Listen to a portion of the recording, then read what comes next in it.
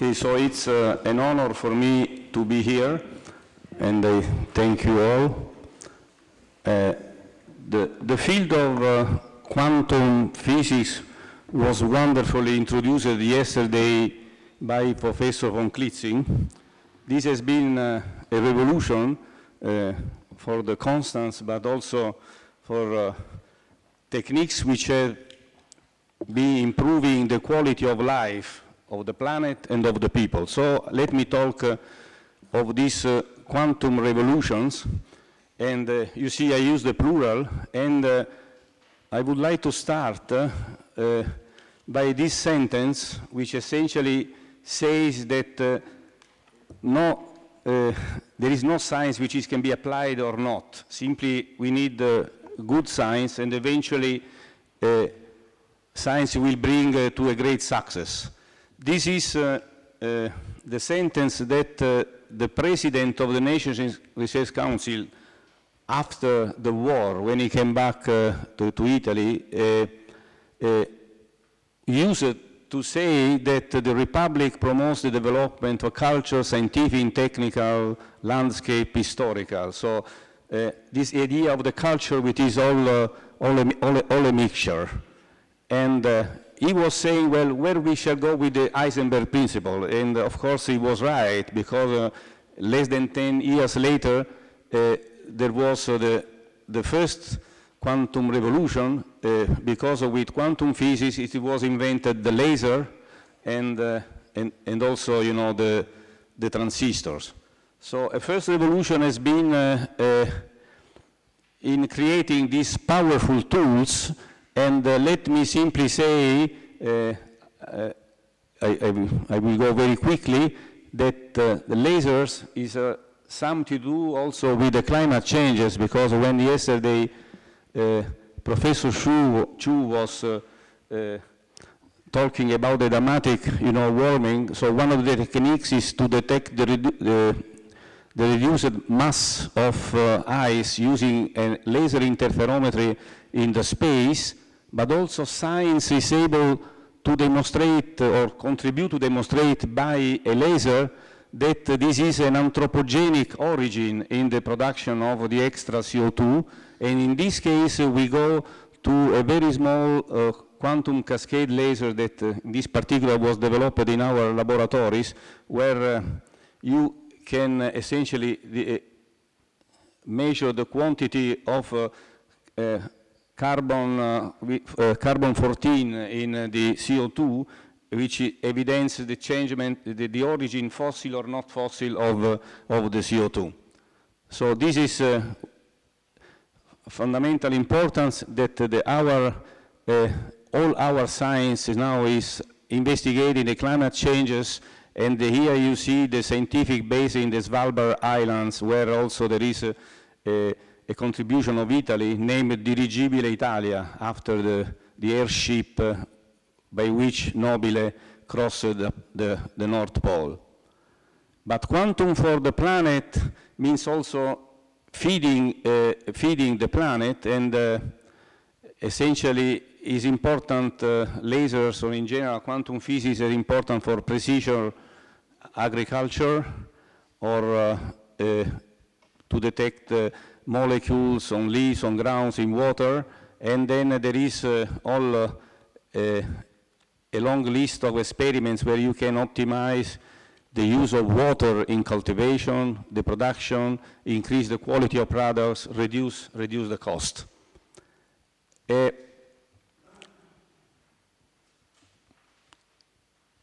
and uh, I will uh, not discuss further on this also because in this academy Thursday, the day after tomorrow, uh, we shall have, uh, uh, together with the Nations Council and the, uh, the Polish Academy, all a conference on climate changes, health and the planet for the future of uh, humanities.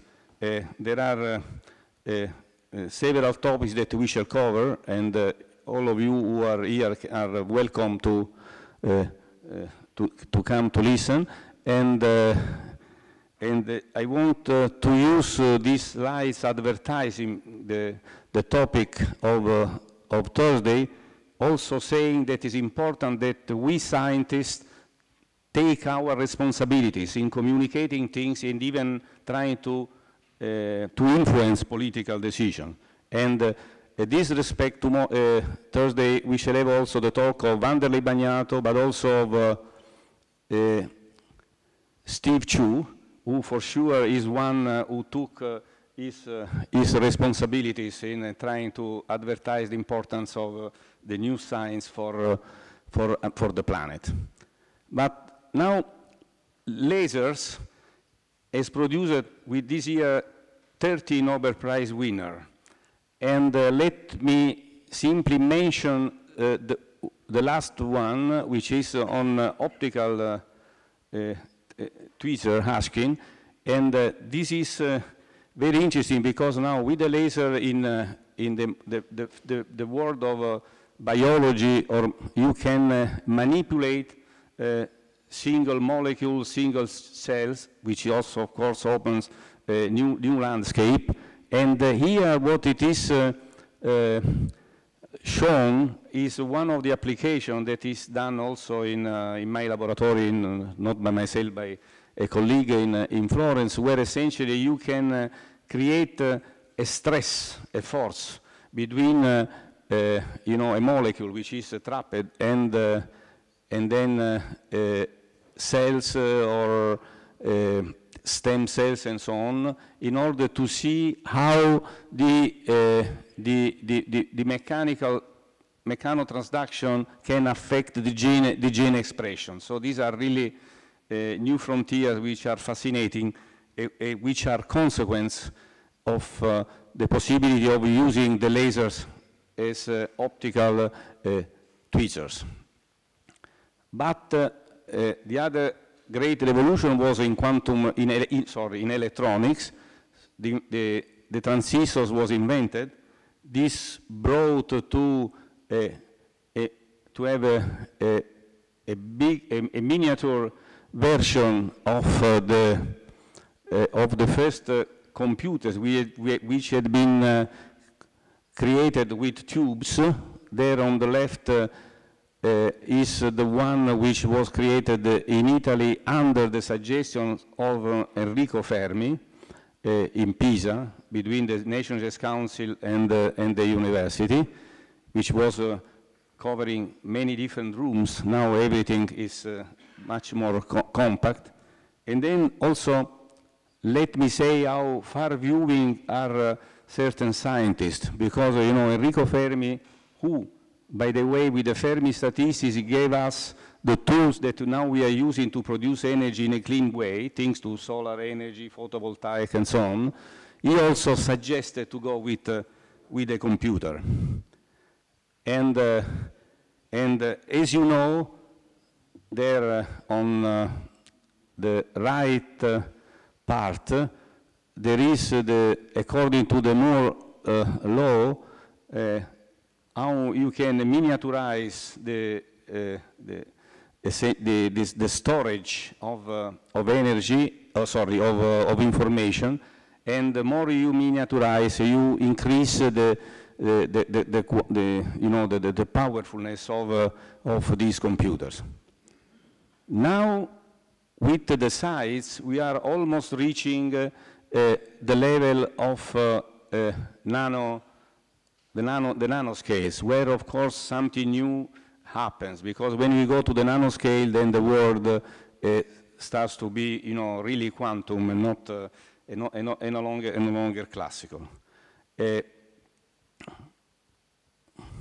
and here uh, we have another far-viewing scientist. This was uh, uh, Richard Feynman, Nobel Prize for, for essentially for QED or, uh, I mean, fundamental theoretical physics, but there is the one who really, uh, uh, with, with great fantasy, suggested that one day all the worlds would have been quantum, not only, and uh, that uh, no computers could have been so powerful to compute all the things that uh, we want to compute in in, in the matter, in the universe, or, or in the life. And so he essentially thought that, uh, suggested that one day one should have gone uh, to uh, quantum computers or quantum simulators.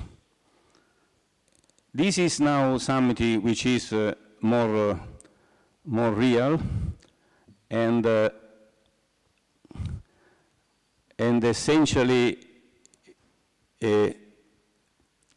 the information, the acquisition, the storage, transmission and processing is uh, fundamental physics.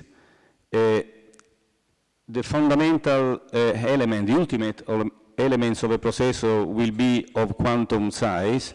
There will be a tremendous uh, speed up uh, using quantum mechanics system and, uh, and uh, quantum techniques will have a wide application in science and technology. But I want to, to, to, to quote uh, another member of this academy, uh, Professor Hänsch, when, uh, of course, he said that uh, it could be that the most mysterious feature of quantum mechanics, known as quantum entanglement, has not been exploited yet. Quantum entanglement opens the, the way to radically new ways of transmitting and processing information.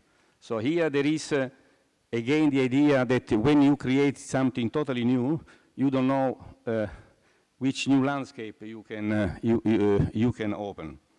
So this, uh, uh this entanglement, uh, for instance, uh, can be used, is already used in, in the communications. You know that the optical communications now allow us to, you know, to, to, to transfer information, data from one side to the other in in, in, uh, the world.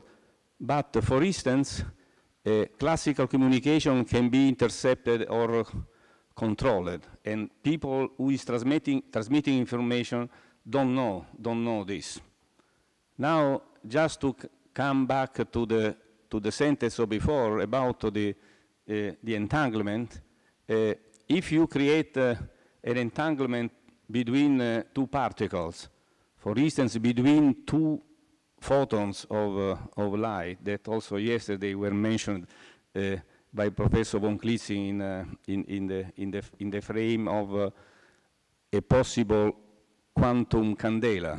Because the moment in which you have a single photon, you can simply count the number of photons. But here, if you start uh, with two photons which are entangled, so a st state of two photons which are uh, combined together by quantum mechanics, now in a, in a mystery of uh, experiments that uh, maybe uh, years ago, ten or uh, tens of years ago could only be told, now can become a reality because uh, when these uh, two photons go apart, also very far away one from the other, then you can send information from one side to the other and, and if somebody try to intercept, then uh, this, is, uh, this is destroyed and I realize that somebody is intercepting me.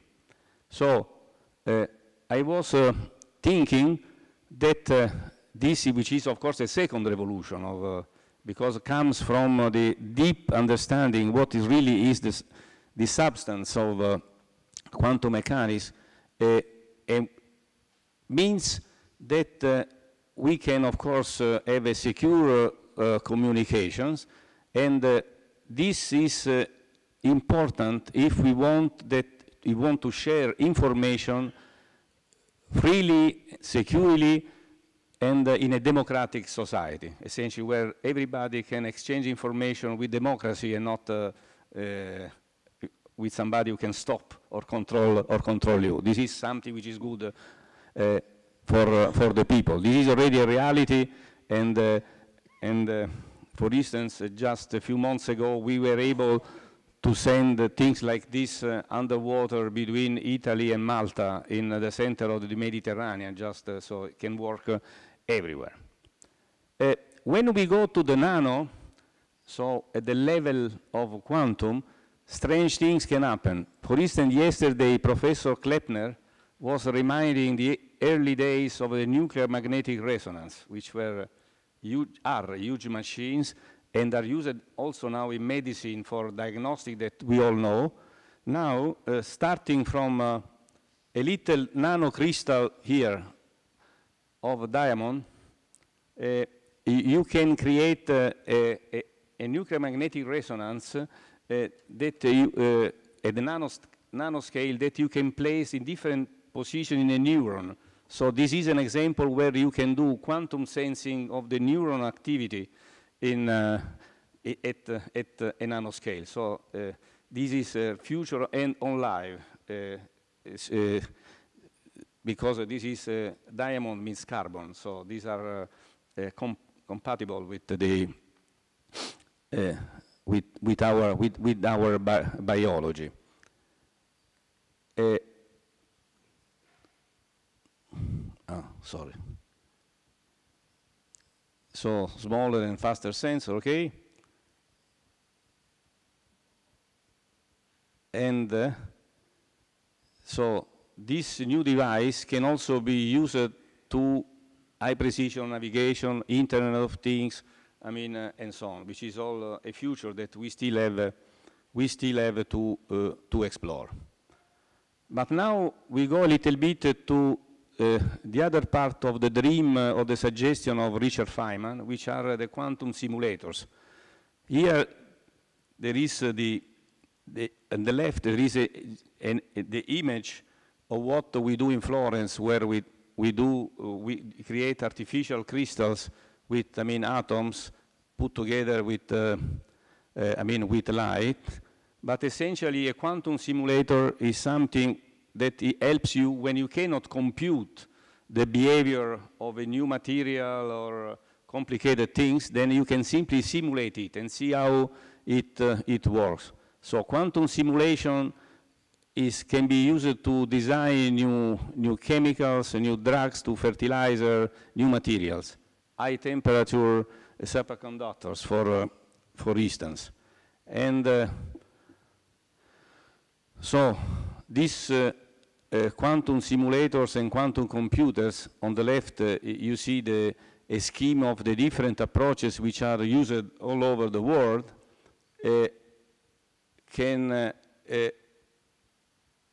should be compared, okay, to the, the quantum parallelism where uh, you have instead many, many computers working in parallel with, but with a minimum energy dissipation. The, the, the first great advantage of these quantum computers or quantum simulator that is that you don't uh, uh, spread, I mean, uh, uh energy.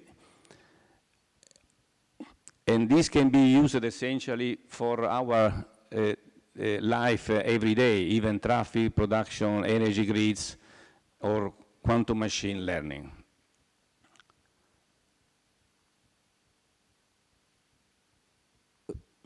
Okay. So I want just to mention that uh, all over the world, but in particular also in Europe, uh, and uh, I'm, I'm, glad to see here the President of the European Research Council, uh, we have a, a big effort uh, in, uh, in the flagship on quantum science and technology, which is related to new forms of communication, computation, simulation, and also uh, sensing uh, uh, metrology.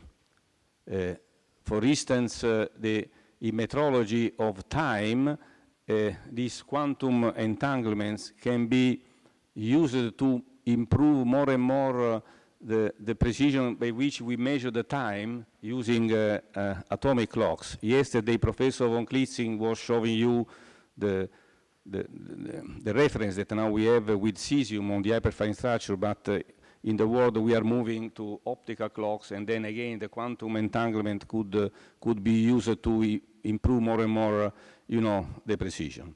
So this second quantum revolution promises to surpass the impact of the first one, with, uh, which was with the invention of the transistor, uh, and really to go where we don't know. Let me close. Uh, telling that uh, a future could also be that maybe we can understand how it's possible that if we have a, a correlate, synchronization in distributed system like cell colonies or neurons, uh, how is possible that these are much faster than uh, what we can do with, uh, with, our, with our computer. So another important effort is to try to understand, uh, using maybe the, the law of quantum mechanics, how this is possible that we have a long, long, long distance, if you want, co correlation. And so the moment in which we understand how our brain works, uh, then maybe we can use the, the model uh, of our brain to go back uh, to the quantum computers that we are creating. So thank you very much for your uh, attention.